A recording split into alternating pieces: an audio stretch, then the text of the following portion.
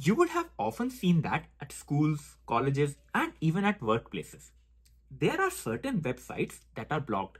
For example, social networking websites. Well, wasting time is one of those reasons, but security is also a very big concern. And the reverse is also true. Let us say there is a network that is only accessible within a certain organization. Then it is not possible that anyone in the world can connect to those servers, right? You have to configure a certain VPN or a certain proxy to get to that network, right? So in this video, we are going to discuss a little bit about what proxies are. Hello friends, welcome back to my channel. To put it in a very generic term, a proxy is nothing but an intermediate that sits between your client and the server. So this intermediate or middleman, this is responsible for handling all of the requests and responses. So naturally, there will be a question, why do you even need this person? Well, that is because when you're designing a system that is huge and they want to handle millions of users, then you want a good control on what requests are coming to your system and who are you giving those responses to. Because think about it, you do not want that you will send out information that is not intended for a certain user. And certainly you do not want to take up a lot of information that was not even needed for you. So this is where proxies come into the picture. So before diving deeper, let us do a quick recap about what all do we already know. So when it comes to system design, we have understood why is it essential and where is it in your career path. After that, we understood what is scaling and its importance.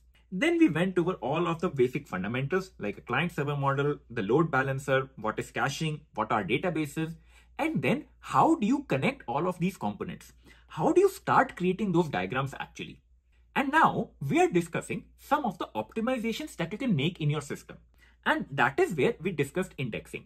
The best part is, while discussing all of it, we have been able to relate all of this to an example of a physical bookstore.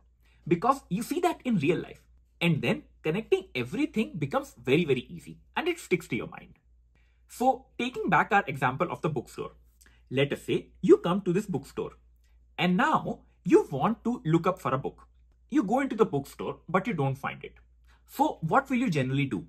you will go up to the cashier and then you will ask, hey, is this book available? So this cashier, they may check up the book in the inventory and it is possible that this book is just not present on the shelves. So in such a scenario, what does the cashier do? The cashier will ask one of their staff members to go and look into the warehouse or at the back of the bookstore. And then they are gonna fetch that book for you. So what just happened over here? This cashier, this cashier acted kind of a middleman, right? They do not want that you go into this warehouse and fetch the book. There can be problems, right? You can see what's going on. You can see the organization. You can see what is there in the inventory. So you see the problem, right? That is why this cashier acted as a proxy and they asked a certain staff member to go and fetch the book for you. This way, you were able to take care of the request that came in and you were able to control the response as well. So it is giving you so many benefits. It is more secure and you are able to handle the request in an efficient manner as well. So that is what the bare bone of a proxy is. That means you are delegating your request to someone else and then the task is being performed by someone else. When it comes to computer applications, this is what happens in a typical scenario. You have all of these clients and they are connected to the internet. And now they can access any of these resources that are publicly available to you. And these resources could be anything. It could be malicious sites, it could be the dark web, it could be social network sites, it can be anything, right? You get the idea. So what do you want? You want some kind of a control that all of these users are accessing based upon what rules and parameters that you have set. So this is where the concept of a forward proxy comes in. Now think like this. You have all of your clients and you can assume that all these clients are in some sort of a private network. That means they all are accessing the internet, let's say from a school or let's say from any workplace. Now, what happens in case of a forward proxy is instead of directly connecting to the internet, all of these clients will connect to a proxy server. And this proxy server is connected to the internet and they take care of all of the requests that are coming in.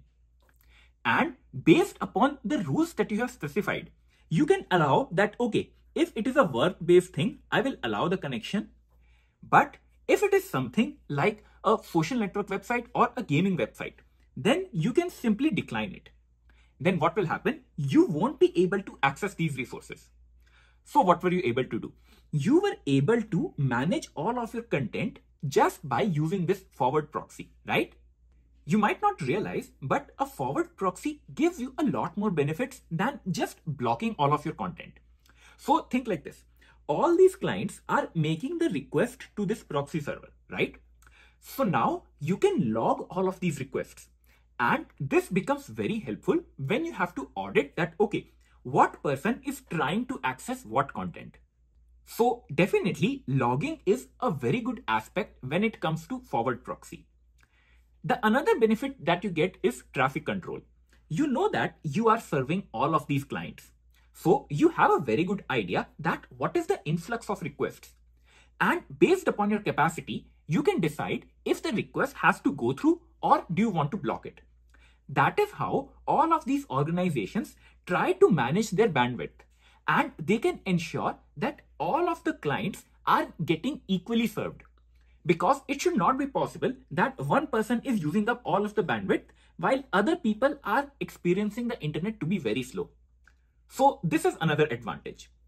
The third advantage that you can get is encryption. You can make sure that whatever request you forward to all of the resources on the internet, you can encrypt the incoming request and then forward it. So this gives you a security benefit as well. Because it is not necessary that all of these clients, they are accessing these resources in a secure manner. But defining a proxy server, you can take care of it. And since this proxy server is responsible for all of the requests that are going to the public internet, it can control what information is being sent to all of these servers. Think like this. All of these resources, they don't have any knowledge like who are all my clients. All they know is that my requests are coming from this particular server. So what is it giving you? it is kind of giving you an anonymity to all of these clients. Now, while it is helpful in an organization, what you might have also seen are some of the VPN networks as well, right? You might have seen softwares that say, okay, you install this software and then you can access a certain service that is available in a different country. So what is basically happening over here? You are the client and instead of connecting to this resource directly, which is in a different country, what do you do? You connect to VPN and then you would connect to this proxy server. Now, this proxy server is gonna capture your request and then it is gonna transform it to send it to your resource. And now the resource will think that, hey, my request is coming from one particular country. And this will respond. So this server will once again send back the information to you. So what just happened? This resource has no idea where you are coming from. So that is what VPNs are doing. And that is why you remain anonymous and you can protect all of your browsing history. This particular resource, they have no knowledge about you. Only this proxy server has all of the knowledge. So this is how a forward proxy works and you get all of these benefits. Basically, if you have to summarize things, a forward proxy is something that works on behalf of all of the clients. But why should clients have all the fun? There should be something for the servers as well, right? So a proxy that works on the behalf of servers, that is known as a reverse proxy. So imagine the scenario once again. You have all of the clients available and they want to access a certain resource, correct? So this time the situation has reversed. All of my clients are on the internet, whereas all of my resources are on some private network. So you can try to think like this. You are working from home and all of these resources that belong to your company, they are on a private network, right? Now, if you're not an employee of the company, you cannot connect to any of these resources, right? So what do you generally do? You connect to a certain service and then you are able to access all of these resources.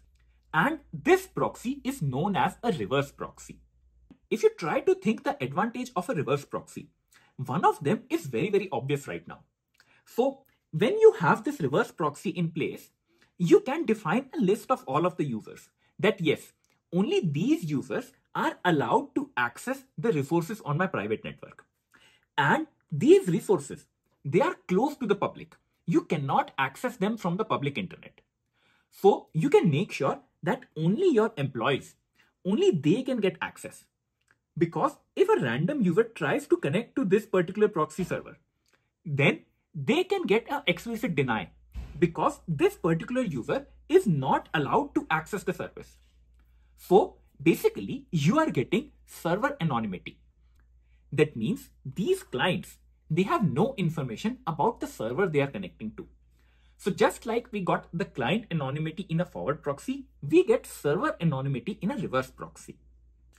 And since you do not have any information about these servers, you don't even know the IP address. So you protect your system from a lot of attacks. And a DDoS attack is one of them. So a DDoS attack simply means that you constantly try to bombard a server with a lot of requests and expect that it will fail. If you have no knowledge about that server, how will you make that attack? So this reverse proxy is helping you with that DDoS attack.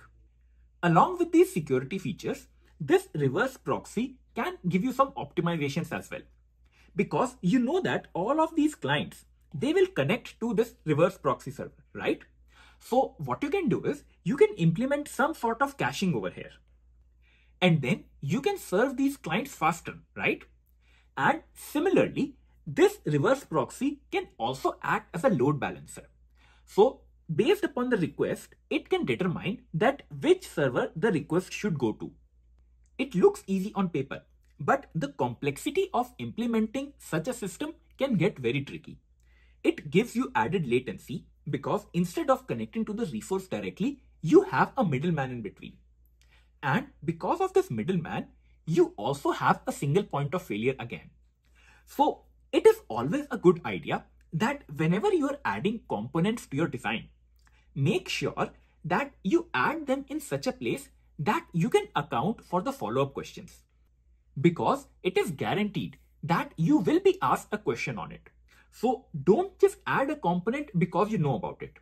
First, talk through your interviewer. First, try to think the design in mind. Think that the advantages that you're getting. And the general rule of thumb is that if you have a lot more advantages than the disadvantages, then you implement that system. Then you add that component to your design. So just be cautious about all of these optimization techniques before actually adding them to your design. So while going throughout the video, did you face any problems? Or what other use cases have you found?